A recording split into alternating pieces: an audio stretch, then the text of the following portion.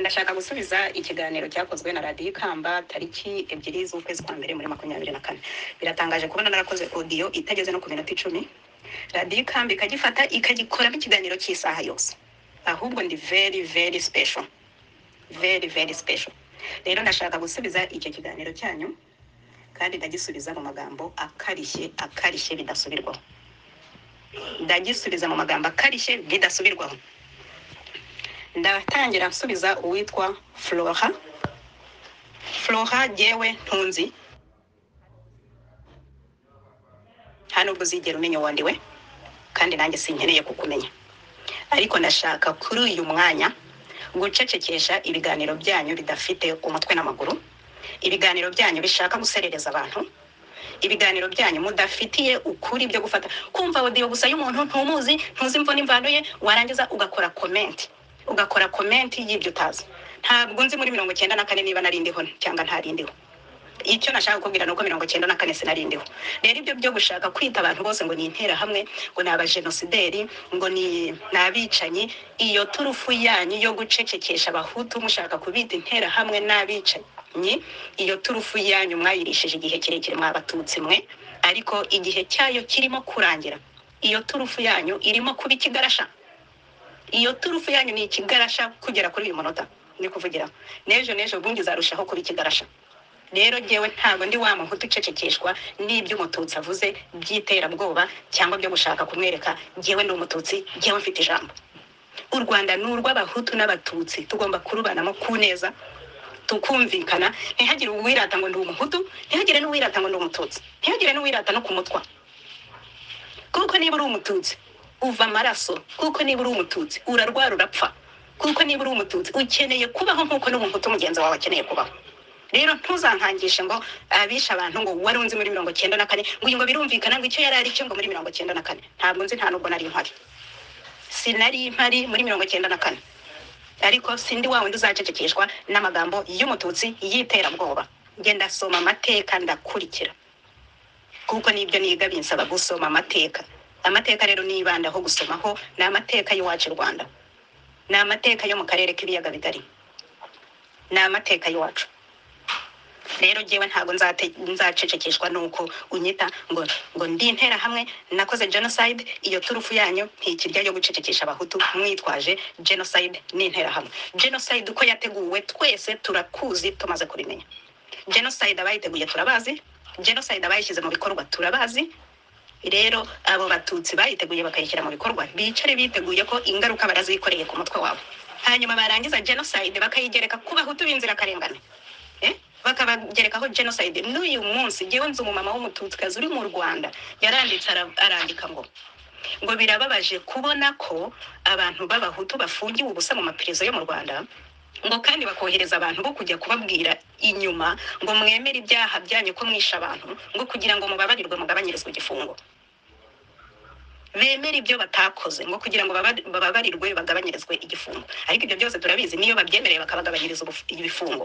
Babakura muri pirizo bamaze kubaroga. Ntawe ugenda ngo amare imyaka ibiri itatu ine hanze. Ahubwo niyo ni myinshi baragenda bakamara igihe gito bagahita bapfa. So rero ntuzankangisha ibyo ngibyo ngo genocide. Ibyo batutsi mwihaye ngo n'uruhinja ruvutse uyu munsi n'uruzavuka ejo ngo kuko rwavutse ku mwana w'umuhutu ngo rubaye umujenosideri iyo turufu yanyu iri kuba ikigarasha flora ndakurangije kukubwira. Niba hari ibindi uzakenera kuvuga uzavuge. Undi nshaka gusubiza ni uwanyise ngo ndwaye turoma ngo ndi umusazi. Niko wa mugabo ntabwo nibuka n'izina ryawe. Ntabwo nkeneye ko ujya kumvuza turoma ntabwo nkeneye ko ujya kumvuza ibisazi kuko nta n'ibyo ndwaye. Ntimuzashake gufata abahutu ngo mubahindure ibicucu mubahindure ibisazi mubahindure abarwayi ba turoma mubahindure abasazi kugira ngo mubacecekeshe. Kuko hariho impamvu nyinshi zabayeho mwagiye mukora ibintu bisa bityo mucecekesha abahutu kuko amahanga bashyigikiye mugacecekesha umuhutu agaceceka kandi agacecekana ukuri kwe agaceceka ari inzirakarengane ndatanga ingero ebyiri hano. Hari ingero nyinshi nyinshi nyinshi nyinshi. Ariko ndatanga ebyiri. Urugero rwa mbere. Uwitwa ngeze hasani yakoranye na majyambere akorana na kaje guhakwa n'abandi batutsi ntashatse kuvuga amazina. Ngeze ajya mu nkotanyi akorana na zo ageze aho nyuma aza kumenya imigabo n'imigambi zari zifite ku gihugu cy'u rwanda ari ariyo ntego yo kurangiza ubwoko bw'umuhutu mu gihugu. Ngeze arazishitura izo nkotanyi avamo n'ikinyamakuru bari bafatanije cyitwa kangura akivamo yandika icyitwa kanguka. Mushaka aya makuru musoma amateka. Navuze ko nsoma amateka agewe ngeze amaze kuvamo atangiye kwandika avuga ati inkotanyi zizaza zigiye gutera ibi n'ibi n'ibi n'ibi n'ibi niyo migambi yazo. Ba batutsi bakaje guhakwa n'abo ba majyambere n'abandi bose bari bafatanije nawe batangira guca inyuma bakoresheje ikinyamakuru n'andi maporopagande ngo ngeze ni umusazi ngo ngeze ni umutamutwe ngo ntimwumve ibyo ngeze avuga. Ngeze yavugaga ukuri abasomye ibinyamakuru byangeze ubu kugera uyu munsi ukuri ngeze yanditse murakubona. Murebe ukuntu umuhutu agiye gushirira ku icumu mwa kiriya gihugu. Ngeze bamwise umusazi. Ngeze icyo gihe arafungwa. Nyuma arafungurwa. N'inkotanyi zimaze kugera mu rwanda zaramufashe ziramutraumatiza ngo azirahirire ko ahagarika kuvuga. Ntiyabikora. Ngeze n'uyu munsi ni azira bamujyanye mu rukiko arusha. Aba ari azira yazize ko yaburiye abaturage b'u rwanda. Cyane cyane ubwoko bw'abahutu. Undi muntu nawe wazize icyiza yakoze ni uwitwa bikindi simoni bikindi simoni yaririmbye indirimbo ze ngo ngewe nanga abahutu kuko batibuka. Ngo ngewe nanga abahutu ibintu byinshi byinshi byinshi byinshi. Bikindi simoni ni umuhutu ijana ku ijana. Yashaka kugira ngo akangure abahutu bakanguke barore. Ariko bamujyanye arusha kuko bashatse kuvuga ngo uyu yashatse guca amacakubiri kuzana amacakubiri mu gihugu. Ariko we intego ye yari iyo gukangura abahutu ngo bakanguke bahweze barebe bacane ku maso. Nk'uko padiri tomasi avuga ngo gucana ku maso. Ariko abahutu icyo gihe ntibacanye ku maso. Kandi kuba batarumvise abo bantu babiri ntanzeho ingero ni byo bibagejeje kuri uyu munsi mu buzima bari mu bubi mwa kiriya gihugu cy'u rwanda. Rero ntushake kumbwira ngo wowe flora n'uwo mugabo mugenzi wawe ntibutse izina ngo kuba naravuze ngo kunamira umututsi. Ngo ni kuzana ibintu ngo uyu mugore ngo ni inshinzi ngo ngo ni igishegabo ngo ni igiki? Ya mureke mbi iyo nshinzi mureke mbi icyo gishegabo. Kuko n'abagabo babaye abagabo nka ngeze hasani nka bikindi simoni n'abandi n'abandi ntavuze hano bose agatebo barushywemo turakabona. Ingabo zarwaniriye igihugu zarahindukiye muzita ngo zose zari interahamwe. Ni gute umusirikare uri kurwanira igihugu yitwa interahamwe? Eh? mureke tuvuge mureke tuvuge abahutu twarababaye twarababaye. N'uyu munsi tukibabazwa n'ubutegetsi bw'umututsi mu gihugu cy'u rwanda. Abahutu barababaye. Uyu muntu yanyise inshinzi ngo igishegabo uriya watutse. Abahutu akavuga ngo nta na rimwe ngo im- ngo imbwa ngo izahinduka inka. Ngo twabategetse ngo imyaka ngo twabakolonije imyaka magana ane ngo n'ubundi ngo tuzakomeza tubategeke. Wowe wowe mwamuhaye izina ryitwa ngo iki kuko ari umututsikazi wabivuze kuko byavuzwe n'umututsikazi ibyo nta zina bifite nta nubwo agomba gutukwa ahubwo ni ukuvuga ok mugakoma amashyi mukavuza impundu we wavuze ijambo ryiza. Mureke tuvuge mureke tuvuge mureke abahutu bavuge twimareyo. Tuvuge turwanye akandoye wa mugani wa ya- ya youtube ngo turwanye akandoye. Mureke kuducecekesha ntabwo tuzaceceka tuzavuga tuzarwana intambara tuzarwana inkundura mirongo itanu n'icyenda twarabatsinze kandi twizeye kuzagarukana iyo ntsinzi tuzayigarukana. Ariko umuntu unyita ngo ndi umusazi ngo ndwaye troma ngo ni umugabo ngo ni igishegabo ngo ni igiki ndagaruka ku kibazo cyo kunamira umututsi. Bahutu bahutu ndasubiramo. Umuhutu ajya kunamira umututsi nk'igiki? Ibyo bijya bikorwa na padiri tomasi n'abambari be abahutu mujya kunamira abatutsi kubera iki? Ubu ko abatutsi nako mu rwanda bitwaje ngo bishwe muri mirongo cyenda na kane. Bagashyiraho iminsi yo kunamira abapfuye muri mirongo cyenda na kane. Abahutu bunamirwa ryari? Bari kwicwa n'uyu munsi bunamirwa ryari? Bari kwicwa b'inzirakarengane bazira ubusa bunamirwa ryari?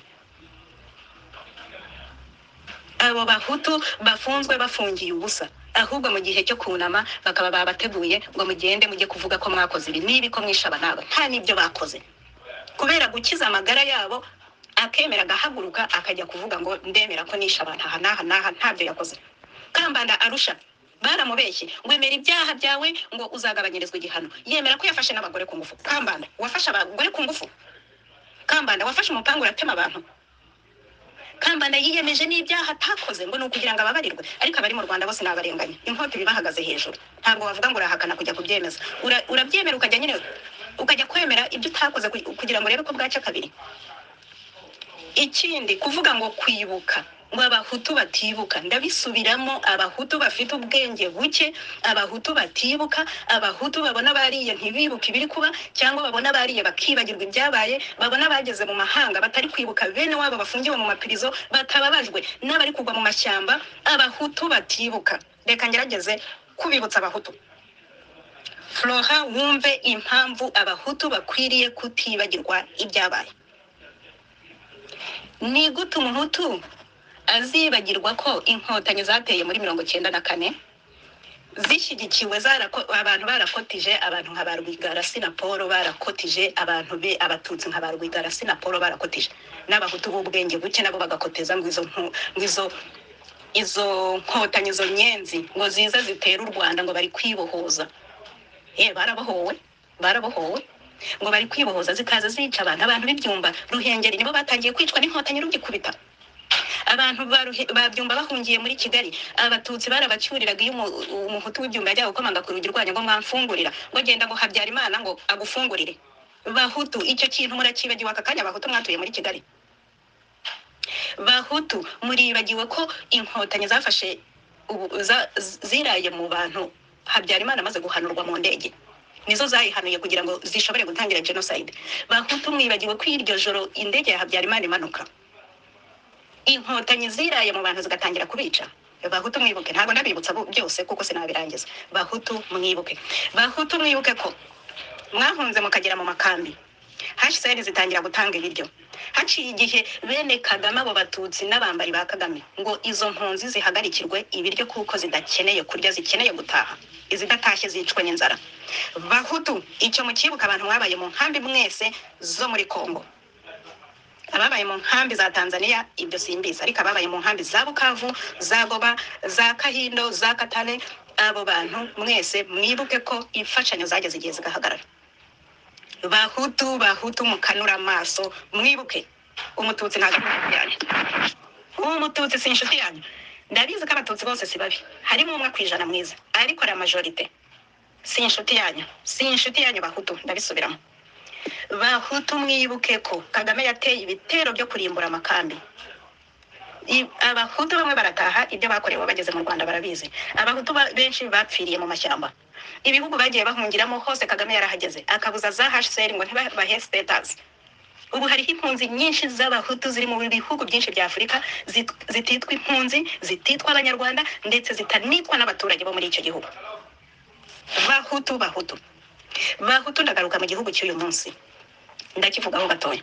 Bahutu mwibuke ko murahinga imyaka yanyu bakayirandura bakaza bagacamo umuhanda bakaza bakaragiramo inka kuko bazi ko umuhinzi ari umuhutu bashaka ko uwo muhinzi yicwa n'inzara abo batajyanye muri pirizo bazicwa n'inzara ku gasozi abo batajyanye muri pirizo babica uko bashaka babategeye mu nzira uri kugenda amasaha atariyo eh, wakandagiye ahatariho eh, bakakurigisa bakakwica umuhutu arahinga ngo ntakwiriye kurya. Aratera ibirayi bakabirandura.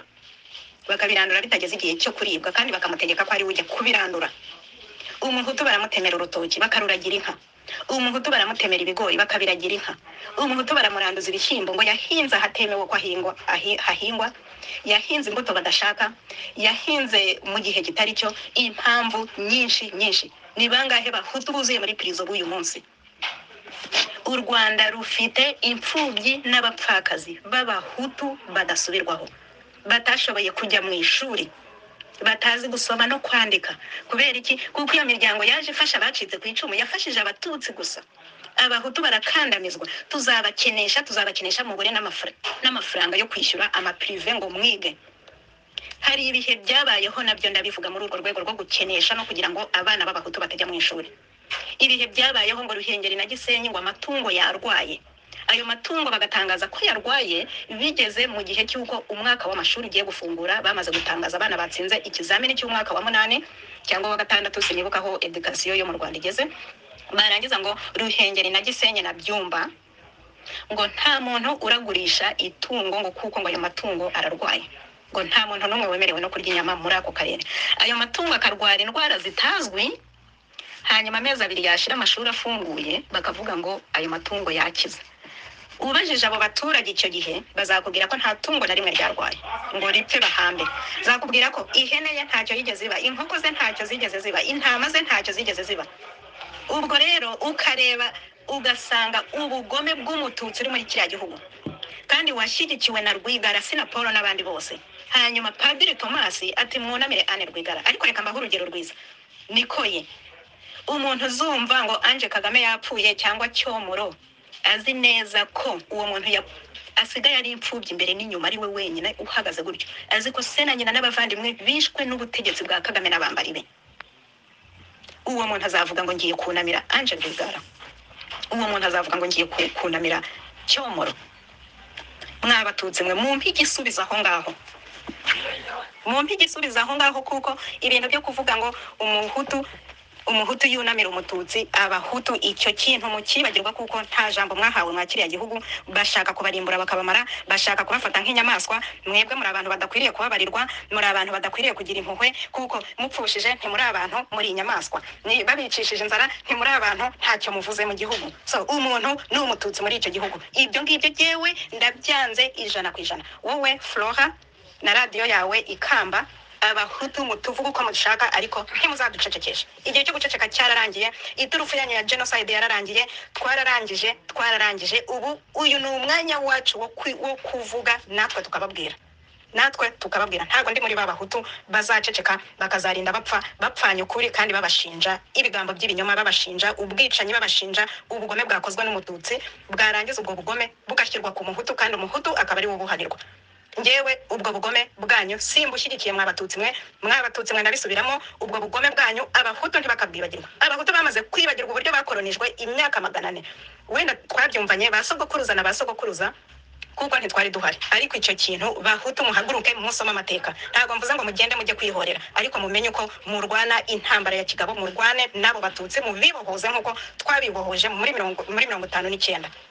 Abo batutsi tubibohoze nk'uko twabibohojeho muri mirongo itanu n'icyenda. Ntabwo mvuze ngo umuhutu ajya gufata ubugome nk'ubw'umututsi abukore. Batutsi mubane ubwo bugome bwanyu mubane ubwo buryarya bwanyu mubane ubwo burimanganya bwanyu mubane ibyo mwigira byo kwigira rwubika ngohe kandi ari mwebe ba rwuburangeso ni gutegura genocide n'ibiki byose mukabishyira mu bikorwa mwarangiza mukabigereka ku muhutu umuhutu uyu munsi akaba ari inzirakarengane aho akandagiye hose. Mwabatutsi mwe ibyo turabyanze turabyamaganye natanze ingero z'akarengane k'umuhutu umuhutu adakwiriye kwibagirwa mu buzima bwe buri muhutu wanyuze muri ya ndirimbo inzira ndende umuhutu wese ntiwibagirwe ibyo wanyuzemo ntucecekeshwe haguruka uvuge haguruka urwane intambara y'amagambo izadufasha gutsinda n'intambara y'isasu haguruka urwane intambara y'amagambo rwana uko ushoboye buri wese narwana uko ashoboye mwabahutu mwe nimuhaguruke murwane